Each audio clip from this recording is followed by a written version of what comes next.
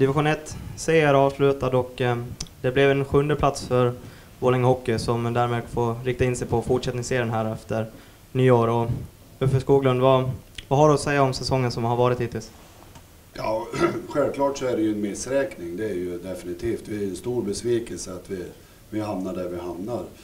Eh, huvudansvaret det är ju mitt så att eh, jag får ju ta åt mig av det självklart. Men samtidigt måste vi också titta på vad vi har haft för förutsättningar att jobba efter. Men eh, till syvende och sist så är det ju tränaren som, som får ta, bära ansvaret. Så är det. Och det gör jag. Ni hade ju inför säsongen många spelare, men sen fick ni lite skador på nyckelspelare. Hedlund, Sjölund. Har, har haft stor effekt tror du på, på spelet?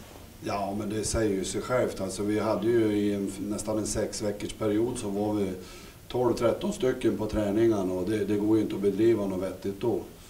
Så är det ju. Eh, hur ser det ut för framtiden nu då, nu när vårserien ska starta? Ja, nu tycker jag det ser lite bättre ut och det verkar ju fyllas på lite grann så att det, det är bara att hoppas nu att vi får träna med fyra fulla femmor hela tiden. Då kommer det nog bli bra tror jag. Hur ser laget ut just nu? Ja, som idag nu då så är det ju bara Ottosson och eh, Björk, Björka som var borta nu då.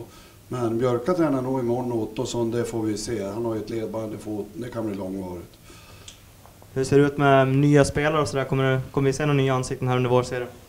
Ja, vi hade ju en idag nu då från Leksand som kommer att stanna resten av säsongen, Persson, Henrik Persson. Och eh, sen kommer nog Oskar Hane att ansluta. Får vi se om han kan. Jag, jag vet inte statusen där riktigt. Vad har ni pratat om nu då inför vårserien som komma ska? Ja, vi har inte pratat om någonting än mer än att vi försöker komma igång nu efter julledigheten. Det tar väl ett par, tre träningar, sen ska vi vara i full gång. Sen, målet är ju självklart, vi ska vinna den här serien, det är inget snack om det. Ja, ni har ju fyra poäng upp och det är 15 matcher, så det är många poäng att spela om. Vad, vad behöver ni göra för att gå bakvägen, så att säga?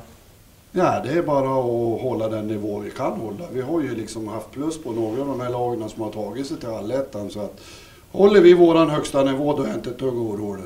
Då är vi där. Då ser vi, ser vi fram emot första matchen och så får vi önska er ett gott nytt år. Mm, tusen tack, ni också.